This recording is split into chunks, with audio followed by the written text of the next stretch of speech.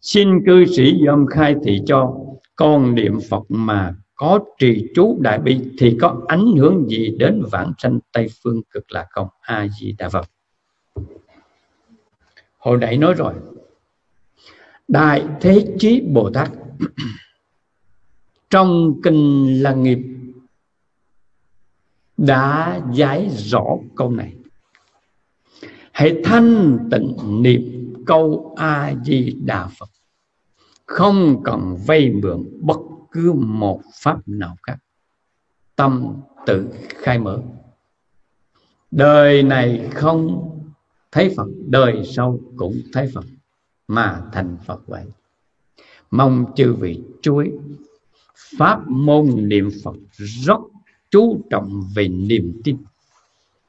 Vì niềm tin vào câu a di đà quá yếu, nên mới vay mượn các pháp các hỗ trợ vào người nào niềm tin vững vàng nhất định một câu a di đà phật đã trọn vẹn ngài tĩnh am đại sư nói, một câu a di đà phật bao trọn 84.000 pháp môn của Đức Thế Tôn trao truyền cho chúng ta.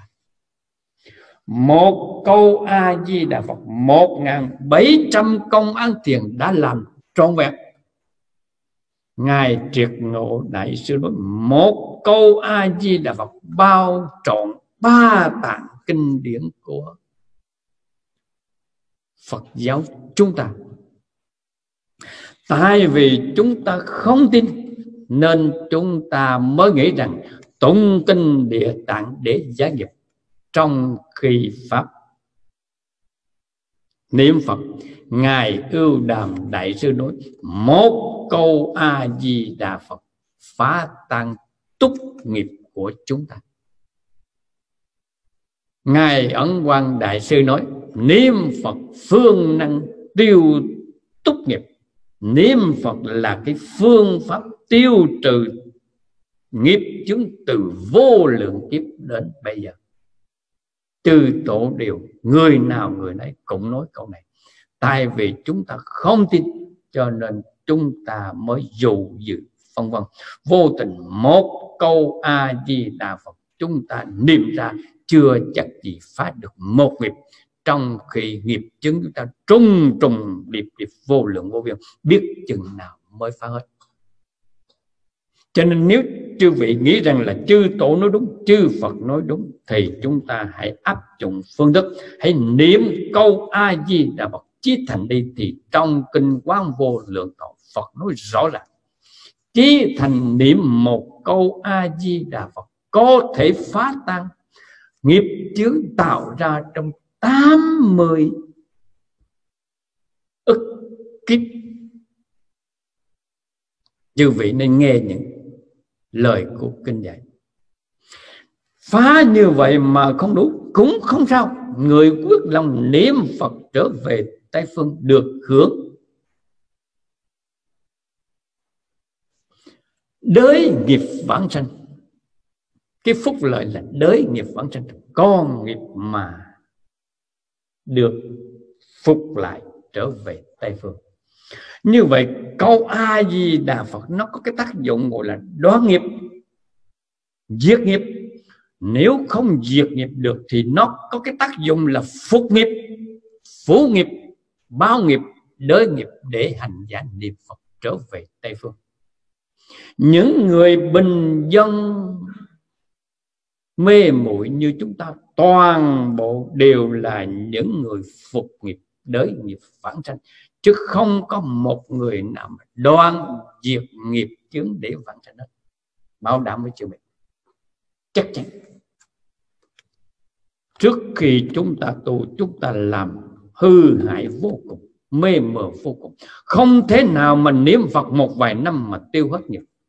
Không thể nào mà chư vị tụng chú đại với một vài năm mà tiêu hết nghiệp, trong khi chưa tổ nhiều cái ngài tu cả đời mà cũng không tiêu hết nghiệp.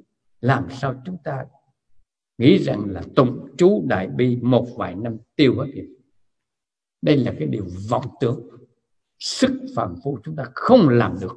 Nhất định sức phàm phu chúng ta không làm được. Vì thương chúng sanh không cách nào phá được nghiệp, mà không phá nghiệp được thì phải theo nghiệp thọ nạn. Chính vì thế mà đại nguyện của đức a di đà nhằm cứu những người phàm phu chúng ta có cơ hội vượt qua ách nạn của nghiệp chướng, trở về tây phương thành đạo để cho vị cho nên ngài mới phát thể rằng giấu cho một người mà tội chức sống nặng ngũ nghịch thập ác thay vì xuống dưới đường ngục chịu nạn hãy thành tâm niệm danh hiệu ngài đi. Bất cứ chúng sanh nào trên mười phương pháp giới nghe danh hiệu của ngài, thành tâm tin tưởng vui vẻ niệm danh hiệu của ngài đem cả những đức lành hồi hướng về nước của ngài, nguyện vãng sanh về nước ngài dấu cho mười niệm mà không được vãng sanh ngài thề không thành phật. Lời nguyện của đức a di đà trên mười phương pháp giới nghi nhận. Ngài không thể nối ngoài được. Trong kinh vô lượng thọ có kèm theo, duy trừ người ngũ nghịch và phỉ bán chánh pháp chư vị nghe cho kỹ cái, cái lời nguyện của ngài.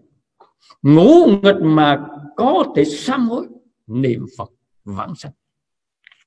Ngài a xà thế là dạng người đó. Rõ rệt ngài a xà thế cũng được hộ niệm để vãng sanh đấy. Trong kinh có huyền ký đàng hoàng. Và phí bán chánh pháp nếu mà những người ngũ nghịch mà còn kèm theo những lời phí bán pháp Phật nữa thì thôi a di đà Phật cứu cũng không được.